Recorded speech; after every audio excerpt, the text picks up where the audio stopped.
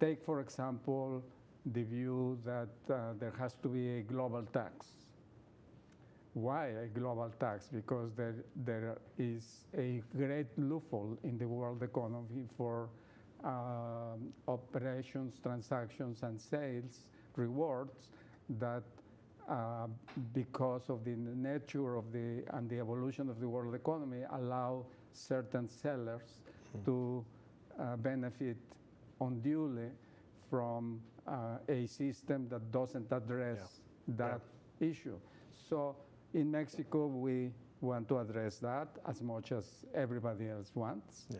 And uh, we are uh, looking forward to engage more with the community, with, with the G20 and with the multilateral development uh, world in general, but also with institutions like you.